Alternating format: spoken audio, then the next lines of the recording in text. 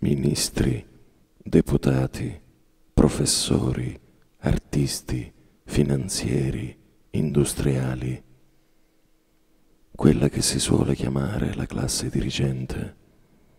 E che cosa dirigeva in concreto effettivamente?